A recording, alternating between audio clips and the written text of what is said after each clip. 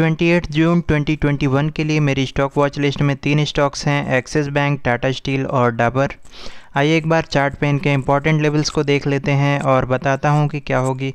मेरी खुद की पर्सनल प्लानिंग इन सारे ही स्टॉक्स में इंट्राडे ट्रेड्स के लिए। तो आइए शुरुआत करते हैं एक्सिस बैंक से और इसका अगर आप देख पा रहे हो डेली टाइम फ्रेम का चार्ट मैंने आपके सामने लगा रखा है और ऑलरेडी दो इंपॉर्टेंट लेवल्स मार्क करके रखे हुए हैं। पिछले दिन का जो एक वॉल्यूम आता हुआ देखने को मिला, एक काफ़ी अच्छा मूवमेंट आता हुआ देखने मिला।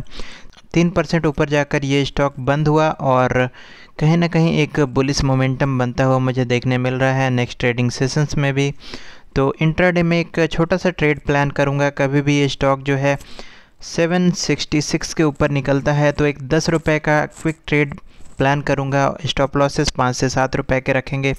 और जैसे जैसे ये हम लोगों के फेवर में बढ़ता है स्टॉप लॉसेस को ट्रेल करेंगे ताकि हमारे जो भी रिस्क हैं वो थोड़ा सा कम होते चलें। तो इस तरीके से कुछ प्लान रहेगा। दस रुपये का टारगेट रहेगा एक्सिस बैंक में इंट्राडे के लिए। अगला जो हमारा स्टॉक है वो देख लेते हैं। टाटा स्टील निफ्टी मेटल का काफ़ी अच्छा एक स्टॉक है और मैं अक्सर करके इसमें ट्रेड करता रहता हूँ। एक बार फिर से ये एक मूव दिखा सकता है आने वाले ट्रेडिंग सेशंस में।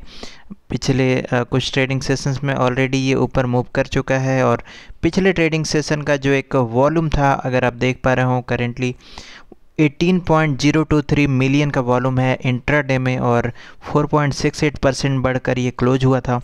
अगर कल के ट्रेडिंग सेशन में ये 1170 को क्रॉस करता हुआ देखने मिले तो मैं इसमें क्विक ट्रेड प्लान करूँगा। 14 टू 15 रुपी के लिए stop losses similarly 5 to 7 rupee के होंगे। तो काफ़ी अच्छा एक मूव इसमें एक्सपेक्टेड है।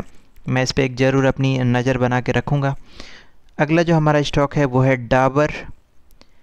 एफएमसीजी सेक्टर से एक स्टॉक इसमें दो लेवल्स मैंने मार्क कर रखे हैं जो कि सपोर्ट की तरह काम करेंगे। अगर पहला सपोर्ट ब्रेक होता है जो कि 560 के आसपास है, और अगर ये ब्रेक होता है तो एक क्विक मूवमेंट इसमें पॉसिबल है 12 से तेरह रुपए के लिए। नेक्स्ट टारगेट हो सकता है पाँच सौ अड़तालीस रुपये का, और सिमिलरली पाँच से सात रुपये का इसमें भी स्टॉप लॉस लेकर चलूँगा इंट्रा ट्रेड में।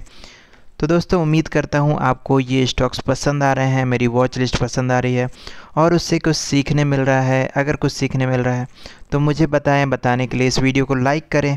चैनल पर नए हैं तो सब्सक्राइब करें। मिलते हैं अगले वीडियो में। तब तक के लिए ट्रेड सेफ़ ट्रेड लॉजिकली